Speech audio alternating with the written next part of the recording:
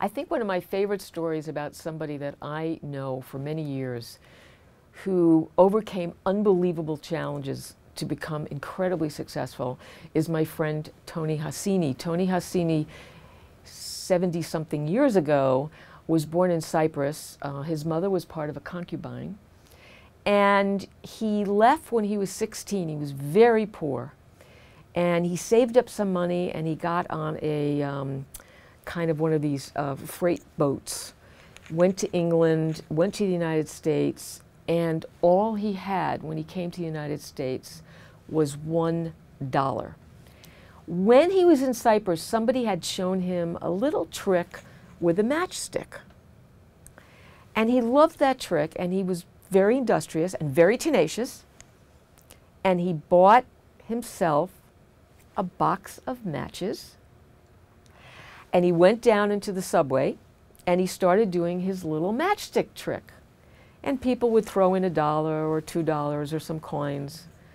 Within a couple of days, he had earned about $200. He met a lovely woman who had come off the train to sort of watch his trick, and he married her three days later. They got married, and he started saving up money to buy more things that he could develop into tricks. He became, with practice over several years, one of the leading magicians, not only in the country, but in the world.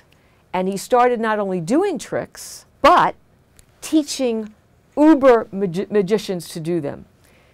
Doug Henning, David Copperfield, Chris Angel, all of them will attribute a large part of their success to the tricks and sleight of hand and illusions that were created by Tony Hassini. Now in his mid 70s, he also confessed one other thing to me because he has this big bushy hair.